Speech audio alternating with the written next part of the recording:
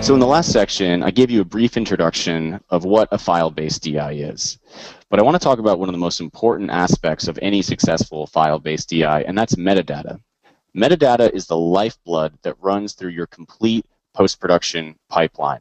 If you don't manage your metadata properly at the beginning, you're going to have a lot of headaches when you get to the DI or really at any point in, in the process, but specifically in the DI since it tends to come towards the end of production. So I want to take you through a couple of common file types that people are using these days. Some file types, like the Canon SLR, they provide no metadata, which is a problem. And other file types like RED provide a tremendous amount of metadata, a lot of metadata which is not all used. So let's take a look at some Canon SLR footage first.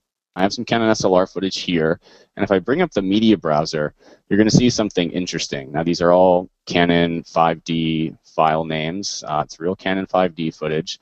But if you look over here to the timecode column, you'll see there's timecode in all of this footage. And if you look over here to the reel ID, there's reel IDs in all this footage.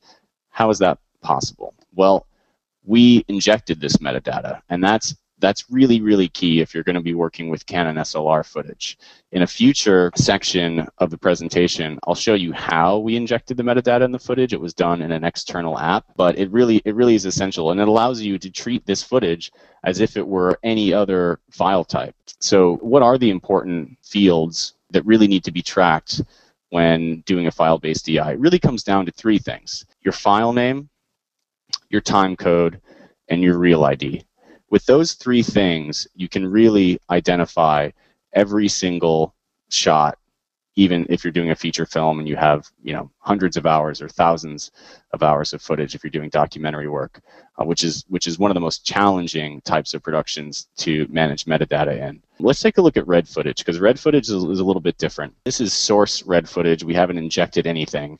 If I click the I button when I'm hovering over a shot in a construct, it brings up this little info field. I can also, if I want to view metadata more globally, I can do that here in the media browser. But if I just want to take a quick peek at some metadata, I can do so by hitting I on the keyboard. Now, red by default, it has timecode, it has a reel ID. It actually has two tracks of timecode, and I can see that by entering the player and coming over here to uh, the effects controls in the lower left-hand side. And if I go to General, you can see there's a field for timecode and I can select either time code, which is time of day time code, or edge code, which is like a uh, record run time code.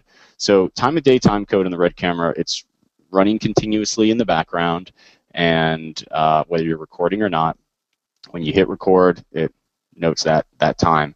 Whereas edge code is recording continuously, starting from one hour, and it stops when you hit stop on the camera, and it'll pick up again when you record again. Every time you insert a new reel or a new uh, SSD card or compact flash card, it'll start over again at one hour. This can be something that you'll pull your hair out on occasion if somebody gives you an EDL that's referencing edge code and your project is set up set up to read time code. I've been through this several times, and at this point, I've, I've learned to immediately check if my metadata is set to time code or edge code but it's definitely something that can be a gotcha.